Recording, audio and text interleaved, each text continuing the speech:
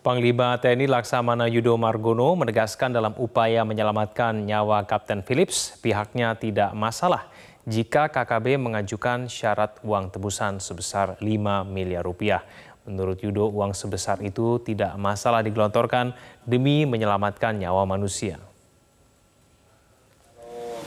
Kalau permintaannya itu kita penuhi ya demi keselamatan semuanya apakah nanti bisa jadi presiden buruk ketika pemerintah kok malah bernegosiasi dengan malah menuruti keinginannya kelompok teroris. Kan itu tadi kita uh, lebih pada uh, apa namanya kemanusiaan.